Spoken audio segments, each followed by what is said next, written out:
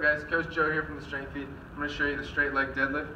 So the first thing we want to do is set up just like our conventional pull, okay? So we're going to get our hips as high as possible. We're going to set our backs nice and flat here from the ground.